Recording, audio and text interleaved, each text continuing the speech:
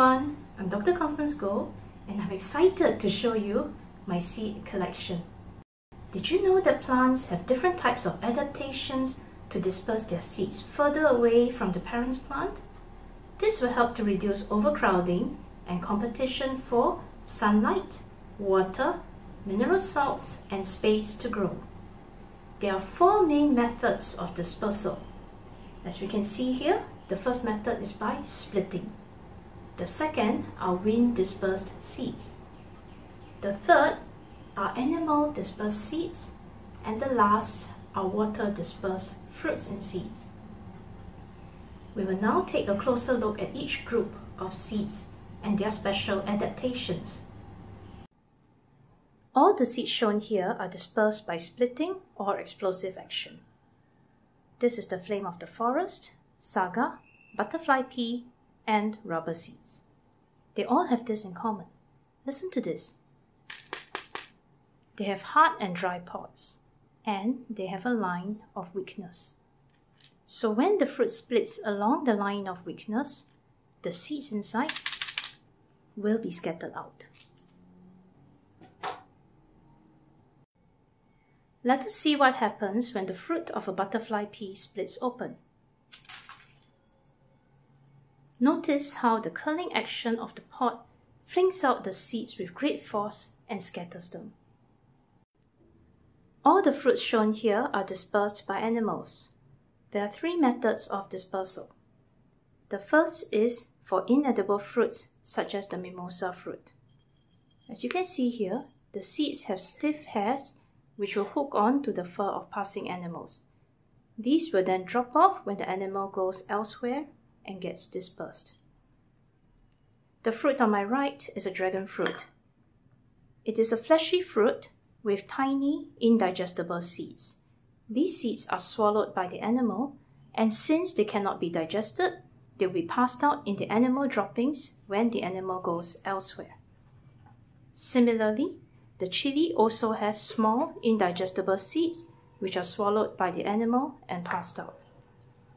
On the right is a mango. The mango has a very large seed. In this case, the fleshy part of the fruit is eaten by the animal and the seed is thrown away. Fruits which are edible tend to be juicy and fleshy in order to attract animals to eat them and disperse their seeds.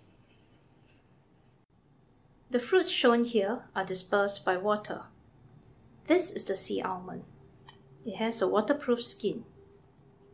When the waterproof skin decomposes, you can see that underneath it has a fibrous husk. This is another fruit where the fibrous husk is more clearly seen. Here we can see that the fibrous husk traps air which enables this fruit to float on water and be dispersed to other places. All the seeds shown here are dispersed by wind. Notice how they all have wing-like structures or hair-like structures. This is the seed of the cotton plant and this is where we get cotton wool from. These are the hair-like structures that will catch the wind and enable this seed to float in the air and be carried away from the parent plant. Notice also how the size of the wing-like structure increases with the mass of the seed.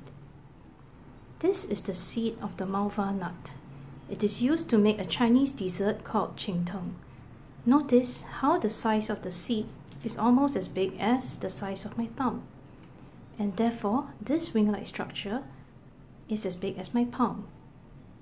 Let us compare this seed with something that is tiny and light, like the African tulip.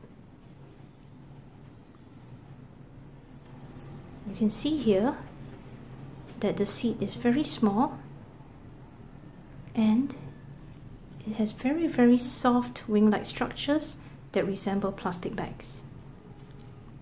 Notice also that we have other seeds that look like helicopter wings and these will rotate as they fall, enabling them to spin and stay afloat for a longer time. Let us now see some of these spinning fruits in action.